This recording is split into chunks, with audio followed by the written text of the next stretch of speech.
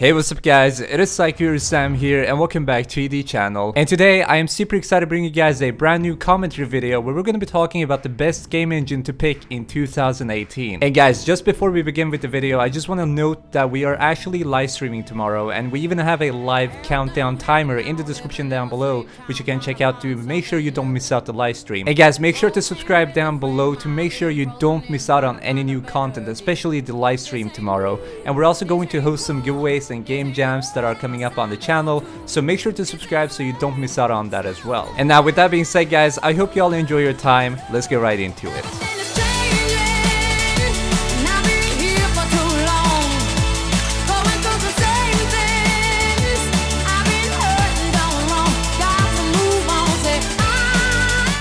So we are now getting used to 2018 and we have a long time ahead of us until 2019 obviously. And a lot of indie developers have already started with their projects, many are still planning and sketching around. And a lot of those people who are still planning around are thinking of which engine to go with because that's obviously the main question you ask yourself when you're about to get started with game dev. And honestly there are just so many game engines to pick through like Unity, Unreal Engine, CryEngine, Godot and many more engines that are available for the public right now, which makes it a little bit difficult to actually pick. So if you're one of those people, don't worry, I understand you completely. The entire community here understands your situation right now because we have been in the same shoes. And therefore, in this video, I will be giving you guys some tips on which engine to go with and share valuable information to help you picking the right one. And first and foremost, let's get one thing out of the way right off the bat. Don't let people pick the engine for you. Feel free to question, ask around and gather information and allow people to help you, but don't don't let them pick the engine for you. Gather all the intel you have collected of each engine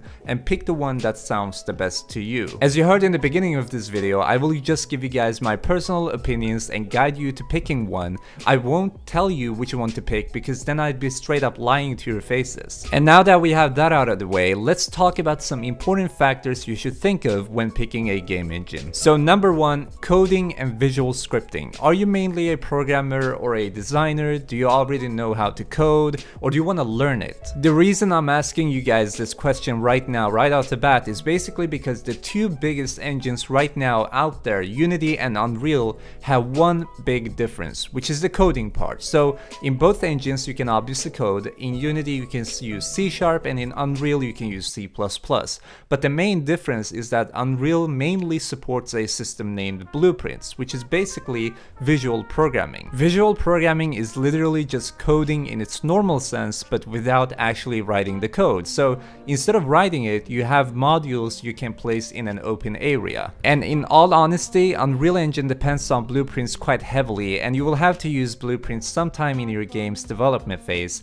Thus the reason I'm asking you if you're actually a designer or a programmer or if you actually want to learn programming in its general sense. On the other side, Unity has no main feature of coding by designing like the blueprint system in UE4, but although there are many assets for completing that part, and Unity is now actually implementing visual shader scripting, so Unity is actually on a good way of implementing visual coding after all. The game engine named Godot also has visual scripting available. You can also code in C++ if you wish to, or by using its own scripting language called GDScript, which is supposed to be very similar to Python.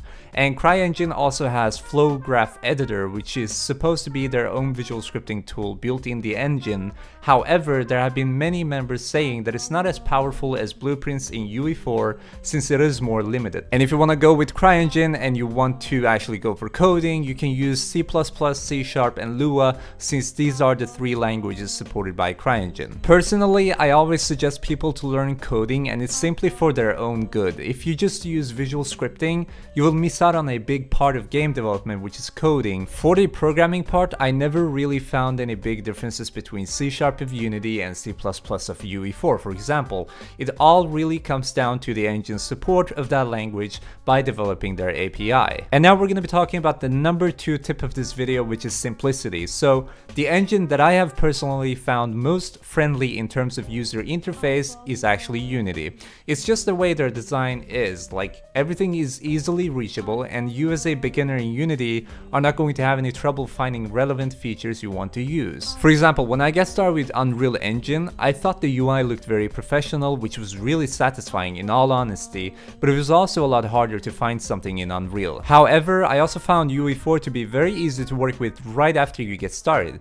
A great example is the landscape system, the terrain system. To create a landscape, it took me a long time to figure it out because you had to add the landscape material, you couldn't just add like a separate texture, you had to create a material where all the textures were laid out in like a blueprint-like system, which is their material editor obviously, and then you could add that material, whereas in Unity it was like, you want to use this texture, go ahead and add it. And I think for the simplicity part, that's the main factor that really wins me over for Unity's part. Like, I, I just like that so much, and I prefer the simplicity, the straightforwardness over the professionalism because especially for a beginner with the engine who's getting who's just getting started right you want to get going quickly but also understand why you have to do certain things to actually achieve what you're trying to achieve speaking of simplicity i always found godot very friendly to the eyes too and i didn't really find it hard to get going with when i was new to it CryEngine was a little bit more intimidating at first but didn't really come off as a problem either because i was used to that kind of intimidation from UE4 but yeah for the simplicity part, I really will be sticking with Unity. And now number three guys, the prices. So we're gonna be getting into some numbers now, don't worry,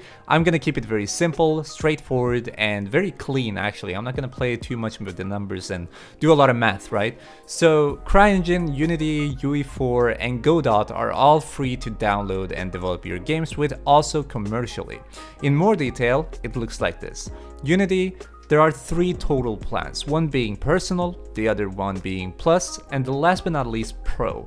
Personal is free, plus costs 35 bucks per month, and Pro costs $125 per month. There are obviously some very in-depth details for Unity's price plans and the different subscriptions from personal to pro, but I will be linking them in the description down below because the list is too long, but it's it's more for people who are actually working as teams or making something very very big that has already earned quite a bit of money which we're gonna get into. So the personal or free edition can be used to create games and publish them commercially. The only thing is that your game's splash art will include made with unity logo. Unity is also royalty free which means that you don't have to pay any extra fees although if your commercially published game's income exceeds $100,000 of total income per year you just simply have to upgrade to a higher tier license. And for Unreal Engine, there are no plans, there are no subscriptions. There is, however, a royalty fee of 5% of your game's gross revenue after the first $3,000 earned per game per calendar quarter. To make that easier for you, after you publish your commercial project in Unreal, you will have to track your gross revenue and pay a 5% royalty on that amount after the first $3,000 per 4 months. And Godot really keeps this very easy, it's just a one-liner. This is this one is completely free, no plans or subscriptions, you can download for free through Steam. Neither are there any royalties tied with this engine that you have to pay after 4 months or 1 year or whatever, so publish as many commercial projects as you want, you're not going to get charged for it. And last but not least, CryEngine, this, this one doesn't have any subscription requirements, no royalties, no obligations, license fees, or limitation from engine features for free users. There are still two memberships you can subscribe to for additional features on the site, which includes a base membership at $50 per month and a premium membership at $150 per month. And now that we're done with the prices guys, we're going to get into number 4 which is the graphics. Ignore that. One of the heated topics throughout the years when speaking of game engines has been obviously graphics. Just naming Unreal Engine and Unity in a couple of sentences together is enough for people to jump on you and tell you which one is the best graphics even though we all know it's Unity. But it's important for you to acknowledge the visual differences between the game engines you're going to use before you actually get started on a series project. And I am not going to discuss this too long with you guys, because I don't want to waste your time because this is not more complex than what people actually do it or make it to be. So here's my biggest suggestion. I suggest you to go out and test and try the ones that interest you the most. Do you want to find out if UE4 or Unity suits your game the best? Try both of them and make a template.